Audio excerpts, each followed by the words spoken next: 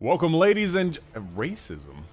Oh my god. Welcome, ladies and gentlemen. My name is Dychronic Ghost here on this Destiny 2 video, and today we're going to be telling you where the Xur is, his random rolls, his location, and everything for May 28th, 2021. You can find the Xur in his regular spot in the Winding Cove, so just head over here, and on top of this little cliffside, right on the precipice. Hey, hey, hey, hey, watch off. You can find him right here, right next to the much more uh, friendly random toucan, not that other dude.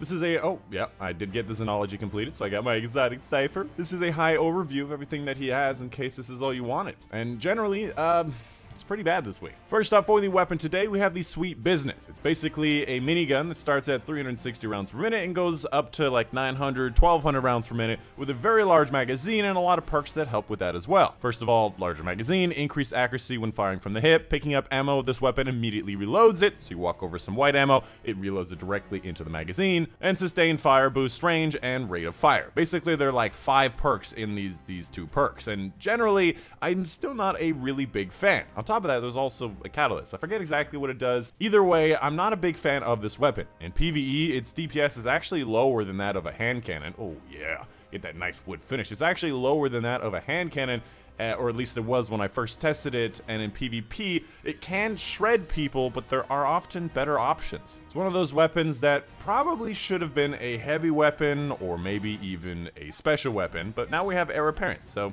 kind of do. Up next for the Hunter Exotic, we have the Lucky Raspberry. Probably the best item on sale today, very close to being in my top 10. It used to be in my top 10, just a lot of new Hunter Exotics that are doing really well, kicking it out. First of all, increases the chaining capabilities of Arc Bolt Grenade and has a chance to recharge each time it deals damage. And a full chain always recharges it. So basically, every enemy you hit with the chain of the lightning, you get 25%. A full chain is four enemies, which is 100%. And that's all it does. Overall, Arc Bolt is a really good grenade. The big issue is that Arc in general is not as strong in either PvE or PvP. So if we ever get to a point that Arc is strong again, this will probably see a lot more usage. And even with the artifact having Arc in it, it often doesn't get, persuade us enough to actually use Arc. As far as the roll goes, it does have a pretty decent roll of 63 and a discipline high of 22, but overall I usually like to see high mobility and high recovery on a hunter, and oftentimes you'll want to not have discipline because you want to have that instant charge. So maybe like a middling roll, you could compensate for it for a pretty good exotic, which I do I don't think actually has an ornament.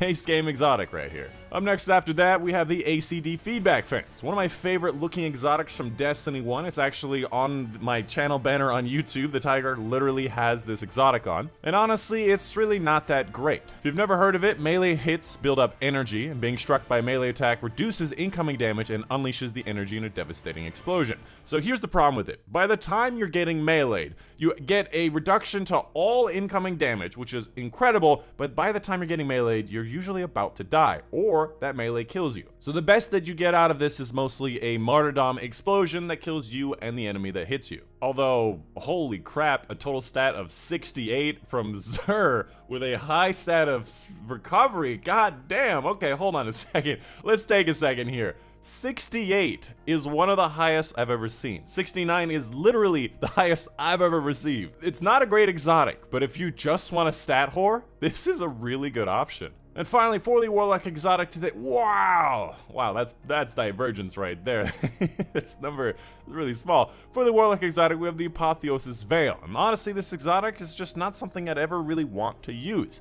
You've never heard of it, you immediately regenerate health, melee, grenade, and rift energy upon activating your super. So by the time you get out, you have all your stuff, and nearby allies also recharge their class ability faster. I'm pretty sure this is only once you activate your super. Although maybe it is just activating faster just all the time. I, I can't remember. Either way, none of this really feels mission critical. First of all, you don't use your super that frequently, especially on the Warlock.